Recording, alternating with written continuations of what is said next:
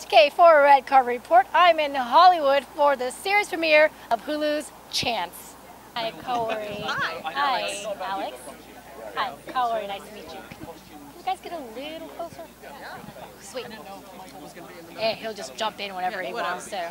All right, can you guys tell us how you got involved with the project?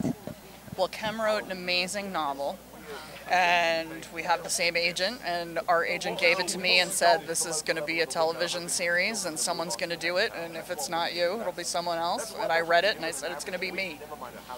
But first, he had written an amazing noir novel that just tells you everything that it is to be human. How well adapted do you think the show is? I don't know, Kem, what do you think? Oh, I think it's I, you know I mean the book is the book, the show is the show, but I think we I think we captured the spirit of the novel. We stepped away from it. We were faithful to it in many ways. We stepped away from it where we had to. I'm I'm very happy with what we've done. And what were some of the challenges that you guys had into putting this on? I think that the- the biggest challenge to me was that this book is so much a book that takes pl- the action of the book takes place inside someone's head. I always considered this a very di- a very challenging adaptation because so much of it is interior.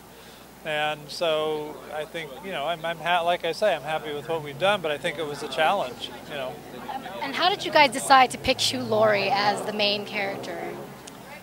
Well, actually, our agent that I mentioned gave him the book, and he read the book first, and then there was a script by the time he had read the book, and he read the script, and then, thank the Lord, he wanted to take a leap and play another doctor and go on this journey with us. So it actually was way easier than we had any right for it to be.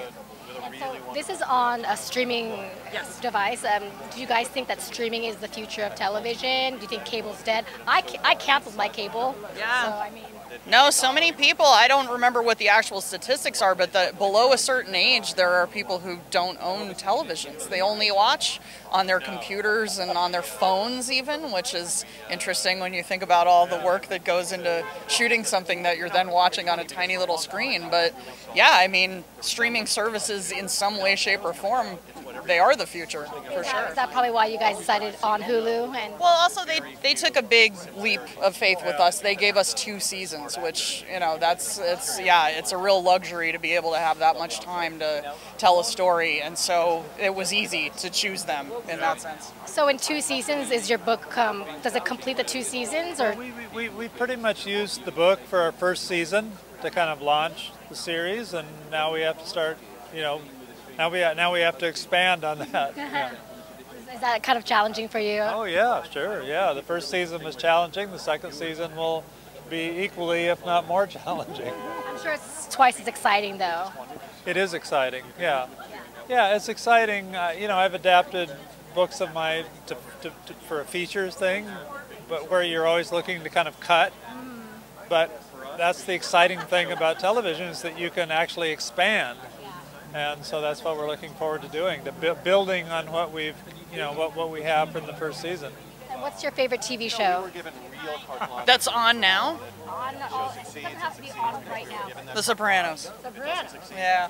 I would have to say, I would have to say Deadwood. Oh yeah. Ah, look at you guys. I wrote for Deadwood too. I did, so- right, for Deadwood. Yes. Yeah, so No, I- I- I, I- want to change my answer. I say Deadwood too. exactly. Thank you guys and congratulations. very Thank you. Take care.